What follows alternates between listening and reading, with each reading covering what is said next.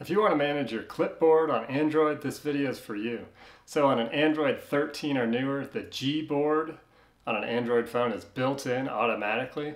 Some of these features are only available on Pixel phones, but I'll show you what some of the cool things you can do with the clipboard and Gboard are on an Android phone. Let's say you're going onto a Google screen, for example. To access your clipboard, you'll see there's a menu on the bottom left on the top of the Gboard with some squares. If you click on that, this will have access to your clipboard. It's right there.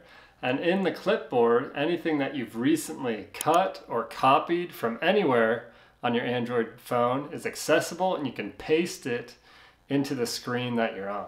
So to take an example, I picked the best space stock. For example, if I click that, you can see at the top of the screen, it just pasted it right up top. A um, couple options that you have here, if you click on this icon right there, this is where you turn on or off the clipboard. So if you don't want it on, you can click that, turn it off. I'm gonna turn it on. I like the clipboard. If you click the pencil icon right there, you can see the recent items that I have in there, you know, regular exercise, things like that. I was researching Martha Stewart and Snoop Dogg's relationship because I thought that was pretty interesting on there. So some of the, those are some of the recent items. So back to the clipboard here, if I open the Gboard and I click this icon in the middle, this is the clipboard. If I want something to stay on there for more than an hour, because things on the clipboard are erased after an hour, you click the pin button. So you can click on one of these things. What type of things trigger dopamine rush? There.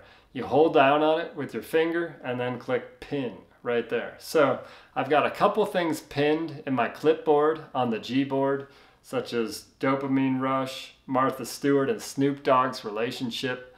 I can paste those into whatever I want, whenever I want. One other tip I'm going to show you is how to edit things that go onto your clipboard. Um, so let's say you're researching, you know, why are gummy bears so addictive? Those are good. I especially like the Haribo ones.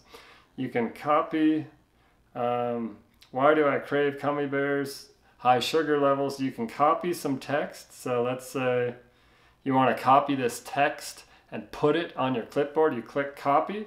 And on the Pixel phones, you'll see this icon you click on in the bottom left.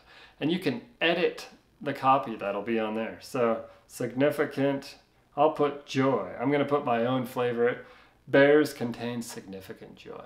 Set and then you click done and save that. And now next time I go to my Gboard, I click on there, I click on, it's right up top listed, bears contain significant joy. I can just paste it in right there.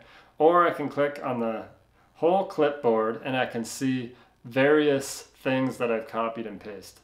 If I want that one pinned down, so lasting more than an hour, like I said, I can just hold my thumb on it, pin, and now it'll be in there forever until I unpin it. All this other stuff up top will be wiped off of my device after one hour. So that's how you access and manage your clipboard on Android. I hope this video was helpful for you. If you liked it, give it a like and subscribe to our channel. We'll see you again soon.